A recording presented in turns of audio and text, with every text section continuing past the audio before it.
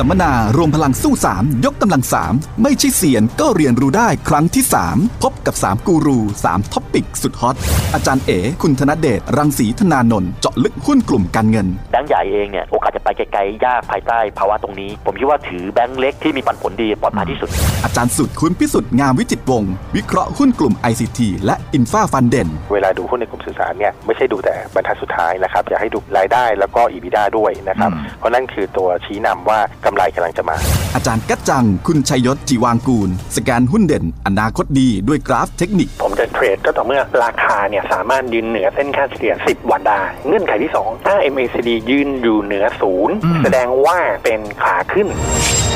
มายกกำลังสามกับเราได้ในวันเสาร์ที่ 14 กรกฎาคมนี้ ณ โรงแรมโฟวิงสุขุมวิท สำรองที่นั่งด่วน 0819849735 หรือ Line ID แอดไซมันนี่พลัสไม่ต้องรีบแต่ต้องมานะครับ รายการมันนี่ช็อตรู้ก่อนรู้ลึกรู้เท่าทัน ทุกเกมการเงินดำเนินรายการโดย ยุทธนากระบวนแสง สนับสนุนโดย บริษัทบางจากคอร์ปอเรชั่นจำกัดมหาชน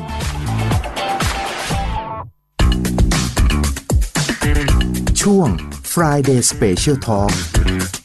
โดยสุขุมธรรมนีวงศ์และยุทธนากระบวนแสง สนับสนุนโดยไทยเรนาคาเช่ารถโทรเลยนะ 1647 เที่ยวให้สนุกนะครับ15นาฬิกา40 นาทีครับ กลับเข้าสู่ช่วงสุดท้ายของ Money Shot ดัชนีตลาดหลักทรัพย์ติดลบอยู่ 10 จุด เคลื่อนไหวอยู่ที่ 1,588 จุด ด้วยมูลค่าการซื้อขาย 41,194 ล้านบาทนะครับ คุณผู้ฟังครับ 28 มิถุนายนตอน 19นาฬิกากรมเชื้อเพลิงธรรมชาติกรมทรัพยากรธรณี และบริษัทปตทสำรวจและผลิตปิโตรเลียมจำกัดมหาชน หรือปตทสพนำโดยดรธนา สลานเวชพันธ์ วิศวกรอาวุโส ปตทสพได้นำเทคโนโลยีเข้าร่วมค้นหานักฟุตบอล และโค้ชทีมหมูป่าอาคาเดมี่แม่สาย โดยทีมงานปตทสพ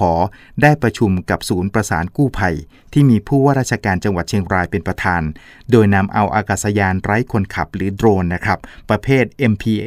MPIO บินสำรวจพื้นที่2ตารางกิโลเมตร เพื่อทำแผนที่ทางอากาศ และวิเคราะห์สภาพด้านนอกของถ้ำ เพื่อนำข้อมูลที่ได้ ส่งให้ศูนย์ประสานกู้ภัยตัดสินใจวางแผนช่วยเหลือขั้นต่อไป โดยโดรนนี้ติดกล้องที่มีรายละเอียดสูง สามารถซูมได้ระยะไกล เห็นภาพได้ชัด 30-40 เท่า พร้อมกล้องเทอร์โมที่สามารถตรวจจับอุณหภูมิที่ผิวดินด้วย นอกจากนั้นยังได้เตรียมหุ่นยนต์อีก 3 ชนิด เพื่อพร้อมให้ความช่วยเหลือเพิ่มเติม ได้แก่ยานยนต์ใต้น้ำควบคุมระยะไกลขนาดเล็ก หุ่นยนต์ตรวจสอบท่อภายใน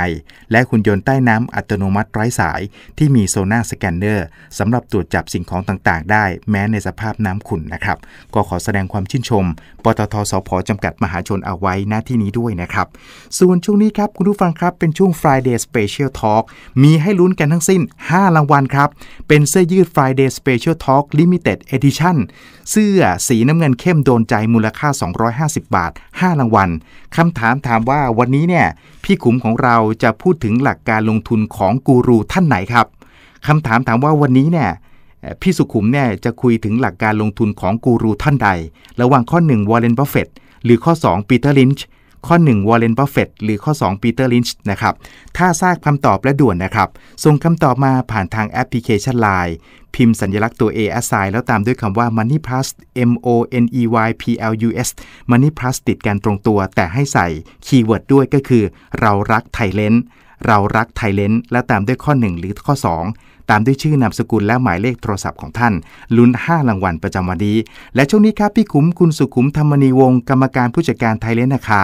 และประธานเจ้าหน้าที่บริหาร s t a r f a c พร้อมแล้ว ที่จะคุยกับเราด้วยในช่วงนี้ครับ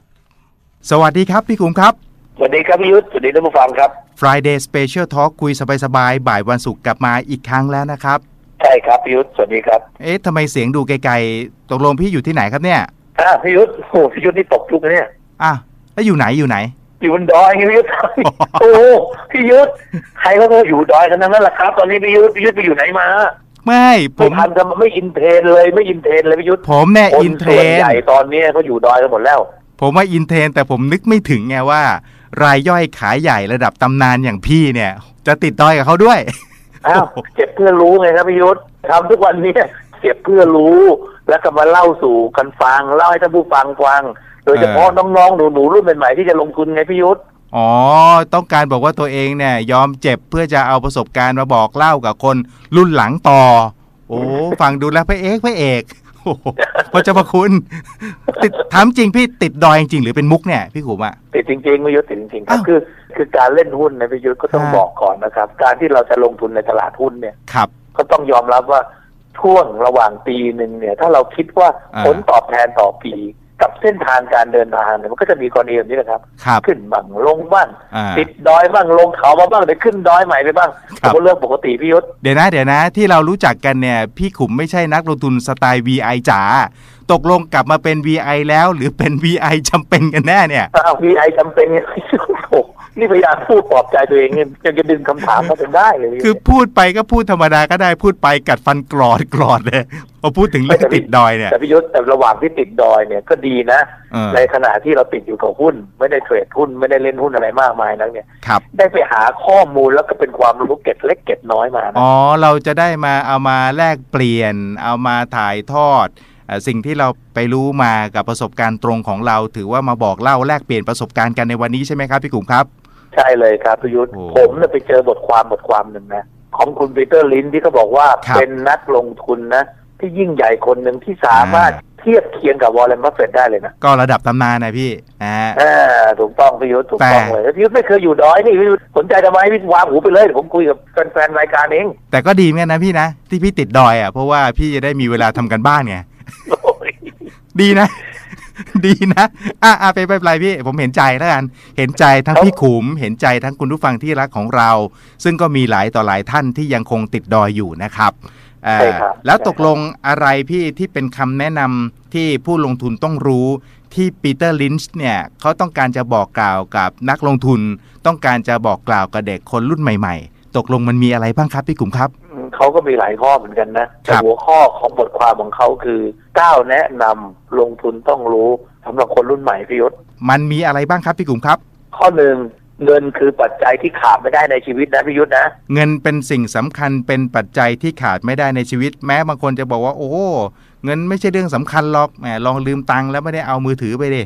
วุ่นเหมือนกันใช่ไหมยุ่งเลยนะ ยุ่งเลยนะ ถึงแม้จะบอกว่าเดี๋ยวนี้มีแอปพลิเคชันพี่ขมพี่ยุทธอ่าไม่ต้องพกเงินไปก็ใช้ได้ แต่เงินในบัญชีไม่มีมันก็จีบักโคนไม่ได้นะพี่ยุทธอ้าวแล้วตกลงที่บอกว่าเงินคือปัจจัยที่ขาดไม่ได้ในชีวิตเนี่ยปีเตอร์ลินช์เขาต้องการจะบอกอะไรแล้วครับพี่กุ๋มครับ เขาบอกอย่างนี้พี่ยุทธก่อนที่จะนำเงินไปลงทุนเล่นหุ้นนะนะคนคำแนะนำของเขาเนี่ย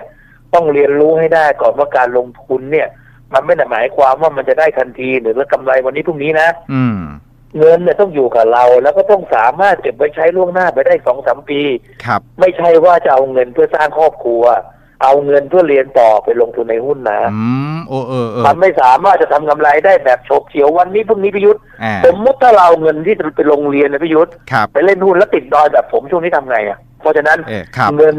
ขาดไม่ได้ เพราะมีความสำคัญในชีวิตเหรอการลงทุนไม่ได้หมายความว่าเอาเงินประเภทที่จะต้องไปจับจ่ายใช้สอยเนี่ยมาลงทุนเล่นหุ้นครับพิยุทธ์ครับ นะเพราะว่าเงินเนี่ยมันเป็นปัจจัยที่ขาดไม่ได้ในชีวิต จะเอาเงินไปลงทุนในหุ้นเนี่ยให้กันเงินที่จะต้องใช้สำหรับความจำเป็นในชีวิตด้านต่างๆ เอาไว้ก่อน แล้วก็แบ่งเงินส่วนหนึ่งเนี่ยมาลงทุนในหุ้น เมื่อลงทุนแล้วก็ต้องใจเย็นๆมันอาจจะไม่ได้กำไรปีนี้เลย หรือว่ากำไรแบบปุบปับเลยทุกครั้งนะมันต้องเป็นความอดทนแล้วก็ต้องคิดเผื่อไว้ด้วยใช่ไหมครับพี่ขุมครับ ใช่ครับใช่เลยครับพี่ยุทธโอ้โหเนี่ยพอติดดอยหน่อยเนี่ยทำเป็น in ทำเป็นมี inner ก็พยายามหาคอลัมน์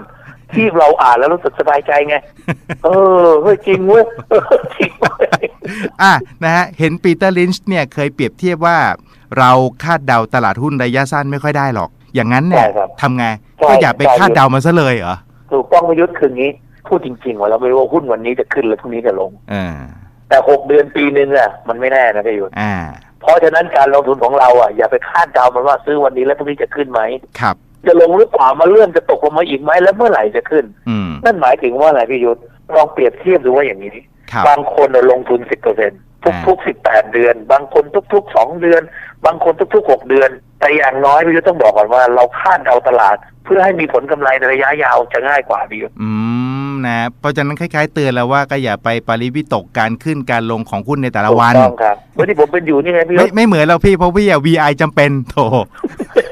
ปีเตอร์ลินช์เนี่ยเคยบอกว่าถ้าผู้ลงทุนยังงง เวลาหุ้นตกงง เวลาหุ้นปรับตัวมาโอ้โหเซ็งนะปีเตอร์ลินช์บอกว่าถ้าอาการเป็นอย่างนี้ก็แสดงว่าอาจจะทำการบ้านไม่มากพอ ใช่ไหมพี่ใช่ครับใช่เลยพี่ยุทธใช่เลยครับ คือในขณะสภาวะที่สวิงขึ้นหรือลงก็ตามนะพี่ยุทธนะครับนั่นหมายถึงถ้าเราไม่สามารถคาดเดาตลาด อย่างน้อยถ้าไม่ได้ทั้งหมดก็ควรจะคาดเดาได้บ้างครับ แต่ถ้าเราคาดเดาไม่ได้เลยกับแรงเหวี่ยงของหุ้นไม่จะขึ้นหรือลงก็ตาม ให้สันนิษฐานไว้ว่าตัวเองทำกันบ้านมันไม่พอพี่ยุทธอ่าให้โทษตัวเองอย่าไปโทษใครเลยใช่ไหมใช่ครับ ด้วยอ่าปัจจัยทางอ้อมหรือปัจจัยทางตรงอะไรก็ตามต้องครับบอกก่อนว่าแสดงเราเราทำกันบ้านไม่พออ่าทำการบ้านไม่พออาจจะหมายถึงทำการบ้านพื้นฐานไม่แน่นพอ มีครับความรู้ทางเทคนิคอะก็อาจจะไม่ลึกซึ้งมากพอ หรือว่าใช่ตีครับความกราฟผิดก็ได้ หรืออาจจะอ่านเกมหุ้นไม่ขาดพี่ขุมใช่ครับเดี๋ยวนี้นะ นอกจากจะรู้เรื่องของพื้นฐานรู้ทางเทคนิคแล้วเนี่ยต้องอ่านเกมหุ้นให้ออก ต้องตีความเกมหุ้นให้เป็นด้วยนะใช่ไหมใช่ครับใช่ครับจริงเออพี่ยุทธเออมีคำพูดหนึ่งผมจำได้เลยโค้ดเหว่งของซูเปอร์เทรดเดอร์อะบอกว่าในตลาดหุ้นนะ มีทั้งผู้ล่า ผู้ถูกล่าแล้วก็ผู้ดูไงอ่า เขาบอกว่าถ้าหุ้นตกหรือขึ้นเนี่ย โดยที่เราไม่รู้เลยว่าเฮ้ยตกลงเขาทำอะไรกันอยู่อะเรานั่นแหละจะเป็นผู้ถูกล่า เรานั่นแหละจะเป็นเหยื่อโดยไม่รู้ตัวใช่ไหมใช่ครับเออใช่คนะรับครับเพราะฉะนั้นก็ทำกันบ้านต้องเยอะมากขึ้นนะครับเอ่อใช่ครับปีเตอร์ลินช์เนี่ยเคยเปรียบเทียบว่าธรรมชาติของตลาดหุ้นขึ้นก็มี ลงก็มี แล้วก็มีปรับฐานเป็นระยะระยะด้วย ดังนั้นเนี่ยเราต้องอยู่กับมันให้ได้ อันเนี้ยมันต้องเป็นยังไงครับพี่กลุ่มครับ เขาบอกว่าอย่างนี้ประโยชน์โดยทั่วไปการตกของตลาดหุ้นนะถ้าสิบเปอร์เซ็นต์เราเรียกว่าการตกครั้งนั้นว่าเป็นการปรับฐานหรือเปล่าอ๋อถ้า10%ถือว่าเบาๆเรียกว่าเป็นการปรับฐานใช่เอานะลองเย็บเย็บๆดูปรับฐานซะหน่อยดีไหมสิบเปอร์เซ็นต์ครับ ซึ่งมันเป็นธรรมชาติอยู่แล้วนะพิยุทธ์อ่าไม่ว่าจะผ่านไปอีกร้อยปีการตกของหุ้นสิบเปอร์เซ็นต์ก็ต้องบอกว่าเป็นตามธรรมชาติของการปรับฐานนะครับ เหมือนกับปีเตอร์ลินก็เตือนเราไกลๆทางอ้อมว่าถ้าเราจะถือหุ้นแล้วทำใจไม่ได้ว่าต่อไปหุ้นที่เราถือเนี่ย มันจะปรับตัวลงอย่างน้อย10%ก็ไม่ต้องมาเล่นหุ้นนะป่ะใช่มันเตือนเราอย่างนั้นถ้าป่ะมันถ้ามันเป็นเรื่องยากนะพิยุทธ์นะต้องบอกคนที่เราจะเข้าใจครับเพราะมันไม่ใช่เรื่องง่าย ๆ ที่จะมาลงทุนในหุ้นนะพิยุทธ์ครับอ่าเพราะฉะนั้นถ้าไม่เข้าใจกับการปรับฐานของหุ้นครับหรือไม่สามารถรับมันได้ เขาแนะนำว่าอย่าเล่นหุ้นพิยุทธ์เพราะเราไม่สามารถจะรวยจากหุ้นได้ ต้องทำใจให้ได้ แล้วก็ต้องต้องมีมาตรทำใจให้การได้ครับมีกลยุทธ์ในการรองรับด้วยอ่าลงมาใช่มากกว่า 10 และขายคัดไปก่อนหรือเปล่า หรือใช่จะครับยังไงเพราะรอบเนี้ยตลาดหุ้นของเราลงมา เป็นตั้งหลายร้อยจุดเลยนะร้อยสองร้อยได้เลยนะพี่ยุทธเห็นไหมนะครับเห็นไหมผมยังทำใจได้เลย เพราะฉะนั้นปีเตอร์ลินช์บอกว่าสุขุมอยู่เล่นหุ้นต่อไปได้ โอ้ผมดีใจมากเลยพี่นะที่ผมครับได้ผมรู้จักกับพี่ ซึ่งเป็นเพื่อนซี้คนสนิทของปีเตอร์ลินช์เนี่ยนะ โอ้โหก็ที่บอกสนิทก็คือได้เอาทฤษฎีของเขามาปรับใช้อย่างเต็มที่นะมาแต่ประเมินตัวเองดูครับเออมาประเมินตัวเองแต่แต่เพิ่งจะมาพลาดครั้งนี้แหละ นะครับใช่อ่าพิยุทธ์แล้วรู้ไหมว่าปีเตอร์ลินเนี่ยพูดอีกนะว่าเขาบอกว่าการเล่นหุ้นเนี่ยมันก็คือธุรกิจอย่างหนึ่งนะหุ้นก็คือธุรกิจ เพราะฉะนั้นเวลาจะลงทุนในหุ้นเนี่ย ให้ทำตัวเสมือนเราทำธุรกิจแหละครับพี่กุ๋มครับ ถูกต้องพิยุทธ์คือถ้าคิดจะเล่นหุ้น แล้วถ้ามันคือธุรกิจครับน้องๆหนูๆหรือว่าเด็กๆรุ่นใหม่ที่กำลังจะเข้ามาเล่นหุ้นนะครับก็ลองคิดดูว่าเราจะวางแผนทางการเงิน เราจะวางแผนธุรกิจกับหุ้นตัวนี้ยังไงดี ถ้าธุรกิจดี หุ้นเราก็ต้องดีด้วยอืมเพราะฉะนั้นต้องเรียนรู้เรื่องราวของธุรกิจในหุ้นนั้นให้ดีๆนะพิยุทธ์นะอ่าคุณพ่อคุณแม่อาจจะปลูกฝังหรือว่าหาทางใช้กุศโลบายต่างๆ เนี่ย ให้ลูกหลานตัวเองเนี่ย หันมาเข้าใจพื้นฐาน หันมาเข้าใจวงจรธุรกิจ แล้วก็ธรรมชาติของธุรกิจประเภทนั้นๆตั้งแต่เด็ก ๆ เลย อันนี้ถ้าทำได้ก็ดีอย่างนั้นเลยใช่ไหมครับพี่กลุ่มครับ ใช่เลยครับพิยุทธ์ถูกต้องเลยครับ แล้วก็เข้าใจว่าถ้ามองหุ้นเป็นธุรกิจเนี่ย ก่อนจะรวยก่อนจะมีตังค์มาเล่นหุ้นก็ต้องวางแผนเพื่อจะให้เอาเงินมาเล่นหุ้นก่อน ไม่ใช่แบบใช่ครับเอออะไรก็ขอตังค์ป้าขอตังค์แม่ แล้วก็มาลงทุนในหุ้นนะฮะคือถ้าใช่เป็นเด็กเลยรุ่นใหม่ก็ควรจะวางแผนการเงินการออมตั้งแต่อายุน้อยๆนะฮะมีใช่ครับตังค์แล้วก็แบ่งส่วนหนึ่งมาลงทุนในหุ้นบ้างก็ได้ แล้วก็ใช่อาจจะครับมองว่า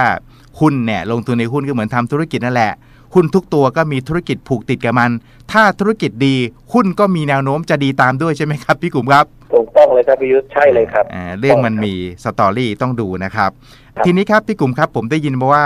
ปีเตอร์ลินช์บอกว่าหุ้นเนี่ยที่ดีในอดีต อาจจะไม่ดีในปัจจุบัน รวมไปถึงอนาคตก็อาจจะไม่ดีก็ได้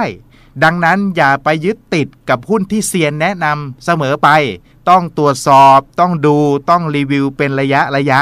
และต้องทำการบ้านอย่างต่อเนื่องด้วยใช่ไหมครับพี่ขุมครับ เชื่อเซียนอย่างเดียวเนี่ย ฟังเขาแบบได้ยินบ้างชัดบ้างไม่ชัดบ้างแล้วมาลงทุนตาม โดยไม่ได้ทำการบ้านเลย อันนี้เสี่ยงแล้วก็เจ๊งมานักต่อนนักแล้วหรือเปล่าครับพี่ขุมครับ ใช่เลยครับพิยุทธ์ส่วนใหญ่พิยุทธ์ถ้าเราไม่รู้จริงในเรื่องของการลงทุนหุ้นนะพิยุทธ์นะอ่ามันก็หลีกหนีไม่ได้นะพิยุทธ์จากครับที่ฟังเซียนแนะนำมา ไม่ว่าจะเป็นเซียนในรูปแบบไหนก็ตามแม้กระทั่งเพื่อนเราบางทียังเป็นเซียนหุ้นเลยนะพิยุทธ์เห็นไหมเออเออเรานั่งคุยกับเพื่อนเนี่ยจะลงทุนหุ้นเนี่ยโอ้โหเพื่อนแนะนำใหญ่เลยพี่ยุทธเพราะฉะนั้นเนี่ยปีเตอร์ลินช์ก็แนะนำว่าอย่างนี้ อย่าไปยึดติดกับหุ้นที่ดีในอดีตนะพี่ยุทธเพราะมันอาจจะไม่ดีจริงๆก็ได้ โดยเฉพาะถ้าไม่มีใครรู้นะพี่ยุทธครับว่ามันมีอะไรใหม่ ๆ มาทดแทนในสิ่งเก่าๆที่เคยบอกว่าดีไว้นั่นคือปัญหาอะไรพี่ยุทธ์อืมนะ เห็นว่า ปีเตอร์ลินช์เนี่ยเคยมีหุ้นตัวโปรดอย่างเช่นไนกี้พี่ขุมชอบใช่เนี่ยใช่ไหมใช่ครับเออว่างๆค่อยมาเล่าเรื่องหุ้นไนกี้ผมฟังบ้างนะ ดีครับไนกี้ก็เป็นหุ้นตัวโปรดของปีเตอร์ลินช์นะครับวอลมาร์ก็ด้วยอ่าซึ่งปีเตอร์ลินช์ก็ใช่ไม่ครับแน่ใจนะ ว่าแม้แต่หุ้นตัวโปรดของเขาว่า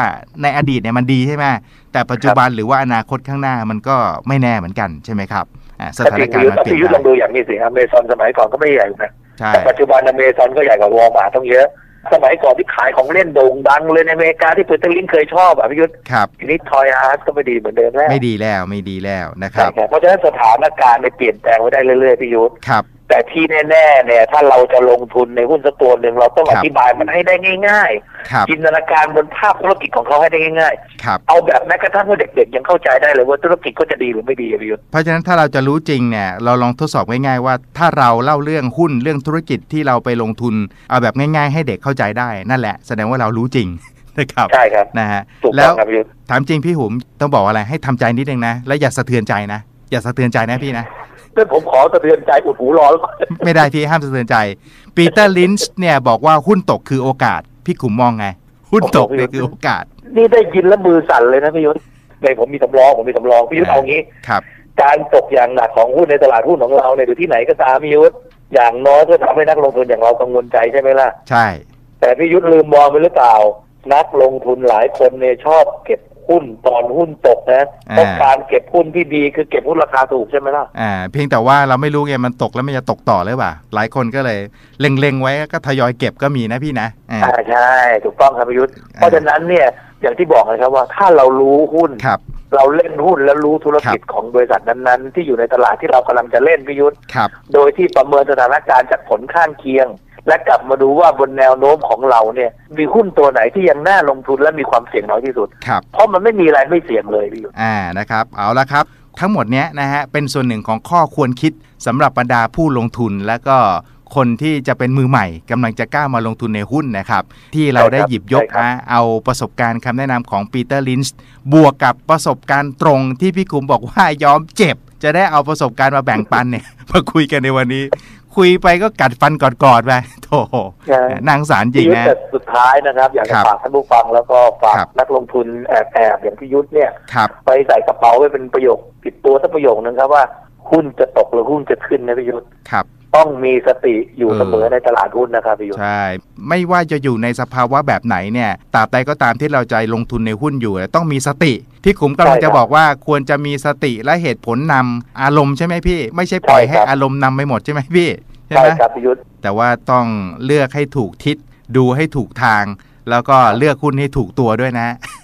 เป็นกำลังใจให้แล้วก็ด้วยความเข้าอกเข้าใจท่านที่ติดดอยอยู่ทุกคนนะครับ เป็นกำลังใจให้นะครับ แม้วันนี้ครับ เวลาหมดแล้วครับพี่ขุมครับ ฟังสดได้เราดีใจ ฟังไม่ทันวันไหนสามารถย้อนไปฟังได้ผ่านทางแอปพลิเคชัน Money Plus ของเรานะครับ วันนี้เวลาหมดแล้ว เดี๋ยวสัปดาห์หน้าคุยกันใหม่นะครับพี่ขุม ครับพี่ยุทธครับ สวัสดีครับพี่ยุทธครับ สวัสดีท่านผู้ฟังครับ สวัสดีครับ